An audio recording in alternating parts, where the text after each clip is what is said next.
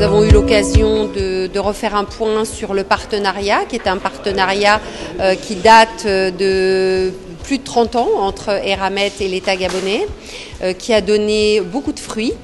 Euh, notamment sur les cinq dernières années, avec un développement considérable de l'activité minière, un développement aussi considérable du trafic sur la voie, beaucoup de création d'emplois, beaucoup d'investissements et beaucoup de retombées économiques pour le Gabon. 2023 a été une année difficile.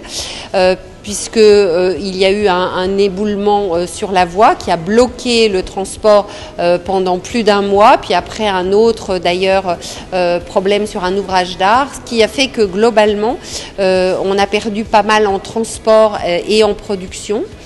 Euh, donc 2024, nous devrions revenir euh, au niveau de 2022, un petit peu au-dessus, dans un marché qui reste difficile, mais euh, avec